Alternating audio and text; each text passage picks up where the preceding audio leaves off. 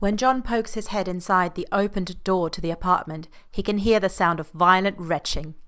He sees Brian and Freddie standing in the doorway to what he guesses is the bathroom. Oh dear, Freddie mutters and disappears into the room out of John's line of sight. It must have been a bad oyster.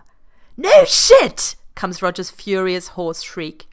He lets out a pitiful moan before more retching noises echo out into the hallway. Brian carefully pushes the door almost shut, leaving it just a smidge open before turning to John. The tall man looks quite pale himself and smiles apologetically. I'm sorry, John. I don't think tonight's going to work for uh, further activities. Can I offer you a cup of tea instead? Loud curses can be heard from the bathroom, and John takes a step back, holding up his hands. No, you really don't have to. I'm fine. Take care of Roger instead.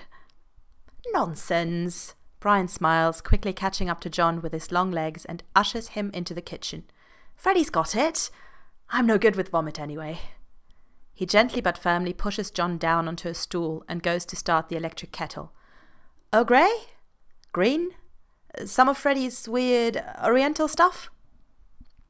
John takes a curious look around the kitchen. It's open and modern, and wow, they really have a nice apartment. The rent must really be hell. Eh, he says, still a bit tipsy and also slightly lost. A natural reaction when your sexy plans suddenly change to drinking tea while someone's being violently sick in the other room. Earl Grey, please? It's pleasantly warm in the room, and he removes his suit jacket, hanging it on the back of the chair. Brian fixes tea for John and himself. He also prepares a mug of the Oriental stuff and a cup of green tea. Rog hates green tea, he explains as he sits down next to John, but I think it should do him good after this trial. Poor guy. John shudders when he hears another wail from the bathroom, coupled with Freddie's cheerful voice. This is a nice place you've got. Thanks. Brian smiles, and he's so pretty that John has to hide his lovesick face behind his teacup. We wouldn't be able to afford it if not for Freddie's job, he frowns. As it is now, him and Rog have to pay for most of it, since most of my PhD payment goes to study fees. It's a bummer. John nods and drinks his tea. They spend some minutes drinking tea and talking quietly. Then there's a sudden ruckus from the bathroom. I can't believe this! First the fucking car, then no Brighton, then I have to slave away at work all week. It's not bloody fair! Roger's roar makes the walls vibrate, and John jumps while Brian just rolls his eyes and continues to calmly sip his tea. Darling, that's not.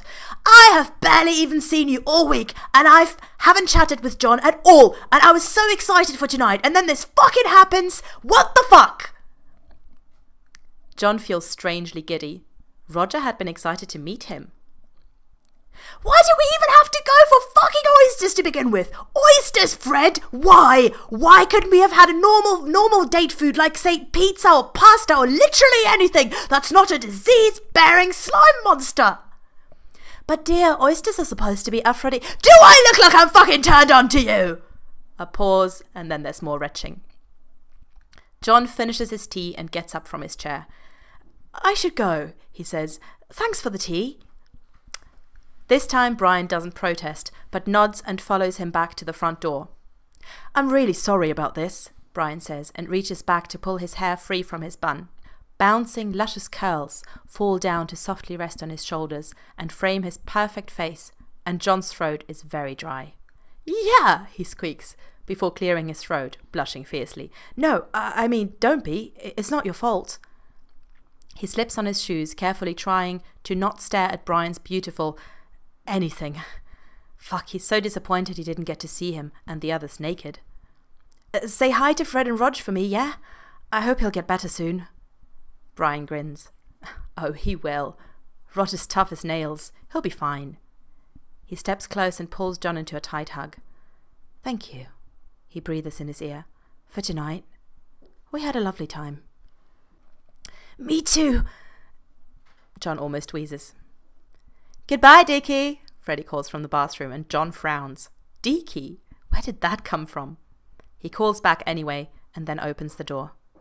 Be careful, Brian says in that low, melodious voice, and John nods. And I'll talk to you tomorrow? John nods again, and Brian smiles and gives him a light kiss on the lips. Then he leans back, gives John another adorable smile, and closes the door. John's sure he's wearing the goofiest grin ever as he skips down the stairs. He's sighing and smiling like a lovesick teenager on the metro. He basically floats up the stairs to his own apartment and dances through the door. Then he realizes he's left his jacket at Brian's apartment with his phone in his pocket. Fuck everything.